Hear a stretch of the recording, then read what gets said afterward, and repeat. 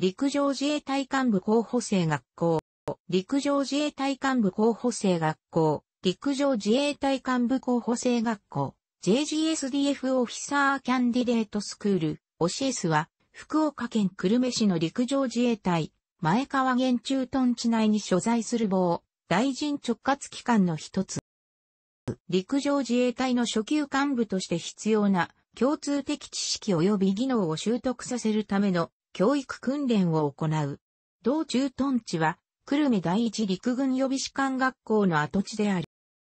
入校生は、防衛大学校出身、B、一般大学出身、U、部内選抜、I 及び陸装航空操縦学生出身、A からなる、一般幹部候補生と防衛医科、大学校医学科出身、一般大学医学部、私学部出身からなる。医科歯科幹部候補生、MD、防衛医科大学校看護、学科自衛官コース出身からなる看護科幹部、候補生、NB、一般大薬学部出身からなる薬剤科幹部、候補生、P、部内の順位、総長からの選抜者の一部からなる3位候補者、SLC、看護陸層で看護師国家試験合格者からなる幹部、基礎、看護師科、N 課程から構成され、一部課程の候補生を除き、入校と同時に、陸曹長に任ぜられる。平成19年度入校の第88期 BU 課程の幹部候補生から B、U 及び P の混在教育が始まり、教育期間も BUP 同一期間、約9ヶ月になった。平成26年度入校の第95期 BU 課程の幹部候補生からは、OCS 入校中に全員普通科連隊 IR で体付教育を受け、OCS 卒業後に、各々の職種部隊に配属され体付教育を経て、3位、大学院、おさむ課程修了者は、2位任官となる、要制度変更になった。以下歯科幹部候補生は6週間教育を受ける。内容は、一般教養、防衛学、戦士、語学、体育、武器訓練など多岐にわたる。また、以下歯科幹部候補生で、医師国家試験に合格した者は、OCS 卒業後に等陸位に任ぜられ、実習に入る医師国家試験、歯科医師国家試験不合格者は合格までは、当初は衛生職種陸層として候補生を命ぜられて1年経過した後は、衛生職種幹部、上として勤務することになる。校内には74式戦車のほか、本州以外では唯一90式戦車の試作車1両が展示されている試作車は3台あり、朝霞駐屯地の陸上自衛隊広報センター、土浦駐屯地に展示されている。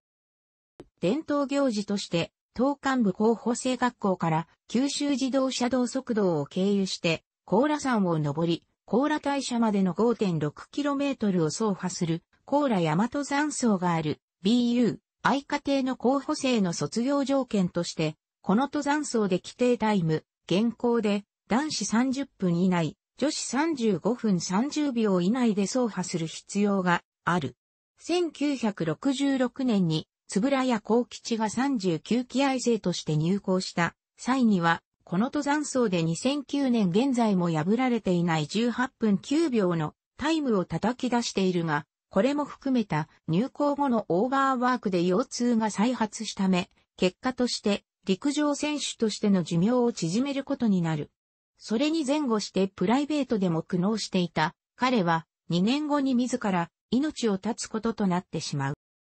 高良大和山荘は、警察予備隊時代の1952年、昭和27年に、総隊普通科学校の幹部候補生隊に、所属していた元海軍少佐の鈴木康隆が考案したものである。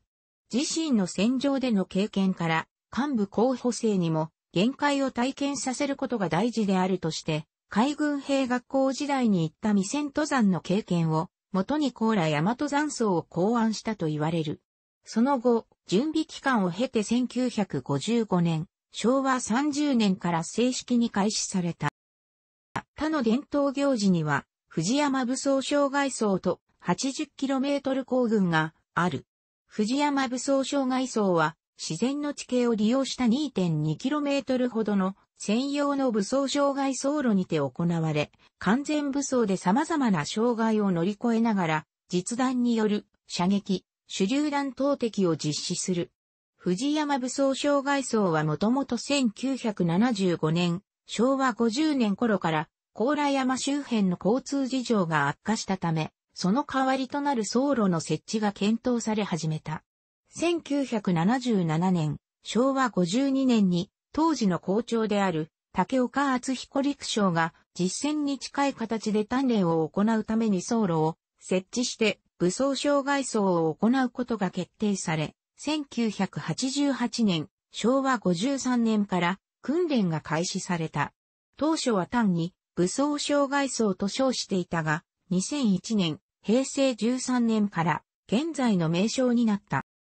80km 行軍は、オシエスでの訓練の総仕上げとして行われ、80km の参道を踏破した後で、戦闘訓練を行うものである。訓練は2や3日をかけて、筑紫山系の山々を舞台に行われ、体力、気力の限界を超えるとともに指揮統率を学ぶ、総合訓練である。山での行進訓練は開校以来行われていたが、1956年、昭和31年から伝統行事として行われるようになった。当初はセフリ山で行われていたが、コースを変えながら現在に至っている。80km 行軍では沿道に防衛協会の会員や一般市民も集まって激励を行う。また、訓練とは別に、給食等にも伝統を受け継いでいる。前川源名物料理として、九州、沖縄の各県の名物料理を月替わりで給食にしたり、毎週水曜日を、ちゃんぽんの一し、合県ちゃんぽん、平成14年4月に開発、幹部候補生学校の名物として作られた、野菜の多いちゃんぽんや、観光ラーメン、久留米ラーメンの流れを組むという、といった麺類を提供したりすることで、九州、沖縄及び、久留米、前川源への知恵の愛着心、愛好心を寛容しているという。楽しくご覧になりましたら、購読と良いです。クリックしてください。